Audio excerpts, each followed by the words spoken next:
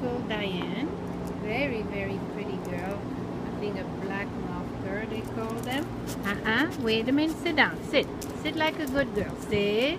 You, you show me you sat the other time. Okay. Here. She's hungry. She likes treats. And look. You can see all her ribs there.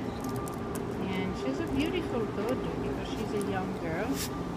And uh, walks very nicely. I don't know if she's house trained. Mama, sit down. Sit. You could do it. Come on. You don't want to show for the people? You don't want to show for the people? Hmm? Hmm? She met some other dogs and she seemed to be fine with them. On. Oh, now you sit. Now you sit. Now you sit here. That's good. Oh, that is so good. Oh, that is so good. Oh, that is so good.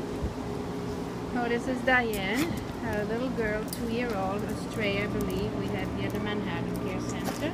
She's a new arrival uh, and uh, waiting to be safe, waiting to have her behavioral evaluation. And hopefully she will do well and go for adoption. Uh, Diana. Diana. Diana. One more piece. One more piece. One more piece. Here, here, here, here, doesn't matter.